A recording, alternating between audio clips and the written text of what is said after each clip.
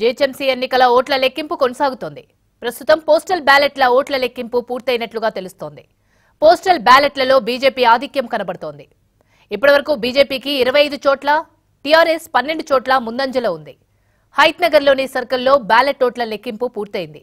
ఇక్కడ మూడు డివిజన్లలో బీజేపీ ఒక డివిజన్లో టీఆర్ఎస్కు ఆధిక్యం వచ్చింది. హైత్ నగర్ మున్సూరాబాద్ నాగోల్ డివిజన్లో పోస్టల్ బ్యాలెట్లో బీజేపీ బిఎన్ రెడ్డి నగర్లో టీఆర్ఎస్ ఆధిక్యత కనబర్చాయి.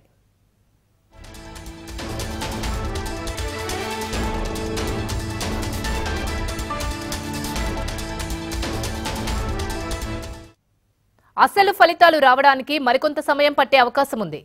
ముప్పై కేంద్రాల్లో నూట యాభై కౌంటింగ్ హాల్లో ఈ లెక్కింపు జరుగుతోంది. ఒక్కో రౌండ్లో పద్నాలుగు వేల ఓట్లు లెక్కించనున్నారు. అయితే పన్నెండు వేలలోపు ఓట్లు పోలైన మెహదీపట్నం ఫలితం ముందుగా వచ్చే ఛాన్స్ ఉంది.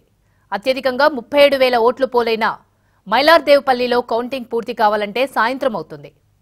అలాగే గాజుల రామారం అల్లాపూర్ సహా మరికొన్ని చోట్ల కూడా ఫలితం తేలాలంటే మరికొంత సమయం పడుతుంది.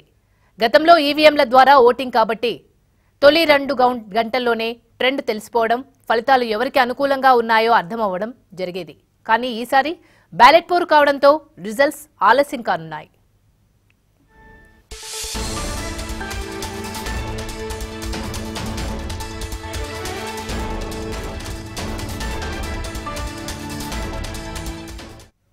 ఇదే అంశానికి సంబంధించి మరింత సమాచారాన్ని సరూర్ నగర్ కౌంటింగ్ స్టేషన్ నుంచి మా ప్రతినిధి సత్యనారాయణ లైవ్లో అందిస్తారు. సత్యనారాయణ కౌంటింగ్ ఎలా జరుగుతుంది? ఏర్పాట్లు ఎలా ఉన్నాయి? శ్రీలత ఎంతో ఉత్కంఠభరితంగా కొనసాగుతున్న జీహెచ్ఎంసీ ఎన్నికల ఫలితాలపైన అందరూ ఆశగా ఎదురు చూస్తున్న పరిస్థితి కనిపిస్తూ ఉంది. అయితే ముందుగా పోస్టల్ బ్యాలెట్ ఓట్ల లెక్కింపు అనేది కొనసాగుతూ ఉంది. అయితే హైదరాబాద్ నగరంలో ఉన్న నూట యాభై డివిజన్లు చూసినా ఎక్కడ చూసినా కూడా ఓల్డ్ సిటీ మినహా మిగిలిన ప్రాంతాల్లో బీజేపీ ఆధిక్యత కనబరుస్తున్న పరిస్థితి కనిపిస్తూ ఉంది. ప్రస్తుతం మనం ఎల్బీ నగర్ జోన్ వరకు విషయానికి వస్తే ఎల్బీ నగర్ జోన్లో ఆ, నగర్ కానీ మన్సూరాబాద్ తర్వాత బిఎన్ రెడ్డి నగర్లో బీజేపీ ఆధిక్యతలు ఉంది. అలాగే ఆ, లింగోజిగూడలో కూడా బీజేపీ ఆధిక్యతలు ఉన్న పరిస్థితి కనిపిస్తుంది. సరూర్ నగర్లో టీఆర్ఎస్ అలాగే చైతన్యపూర్లో బీజేపీ కొత్తపేటలో బీజేపీ ఆధిక్యం ఉంది. గడ్డెనారంలో కూడా బీజేపీ పోస్టల్ బ్యాలెట్లో ఆధిక్యం ఉంది. మరో మరోవైపు రామంతపూర్ ఉప్పల్ ఆ, రెండు ప్రాంతాల్లో కూడా బీజేపీ ఆధిక్యత కొనప- కొనసాగిస్తున్న పరిస్థితి కనిపిస్తుంది. మల్కాజిగిరి నియోజకవర్గానికి వస్తే మల్కాజిగిరి ఆ, డివిజన్ అలాగే వెంకటాపురం ఆ, డివిజన్లో బీజేపీ ఆధిక్యత కనబరుస్తూ ఉంది. మిగిలిన ప్రాంతాల్లో టీఆర్ఎస్ నువ్వా నేను అన్నట్టుగా పోస్టల్ బ్యాలెట్లకు సంబంధించి ఓట్ల లెక్కింపు అనేది కొనసాగుతూ ఉంది. అయితే ఇప్- ఇప్పటి వరకైతే ఈ పోస్టల్ బ్యాలెట్లకు సంబంధించి గ్రేటర్ హైదరాబాద్ వ్యాప్తంగా ఉన్న నూట యాభై డివిజన్లో పంతొమ్మిది వందల ఇరవై ఆరు మాత్రమే పోస్టల్ బ్యాలెట్లు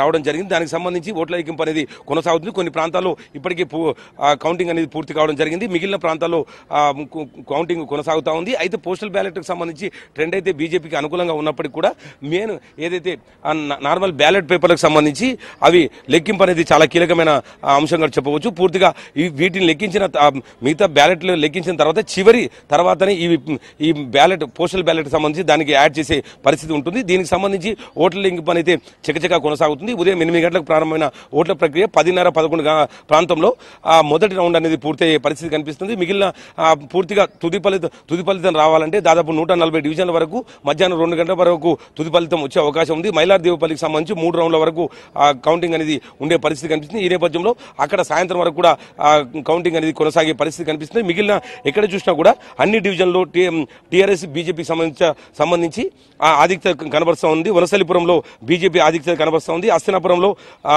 అస్తినాపురంలో బీజేపీ లింగోజిగూడలో కూడా బీజేపీ బ్యాలెట్ దాంట్లో ఆధిక్యత కొన- కొనసాగుతూ ఉంది చంపాపేటలో కూడా బీజేపీ ఉంది.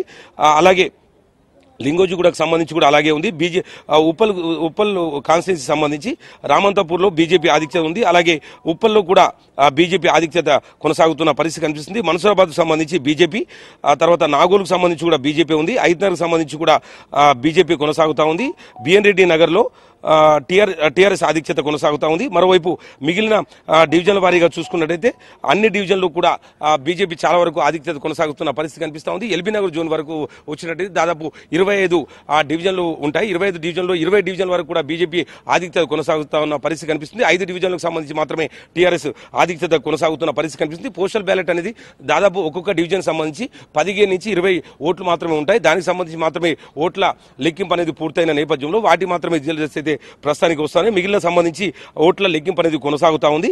అయితే మిగిలిన మనం ఎక్కడైనా చూ- మన్సూరాబాద్ చూసుకున్నట్టయితే ఎనిమిది బీజేపీ ఆధిక్యత కొనసాగుతా ఉంది.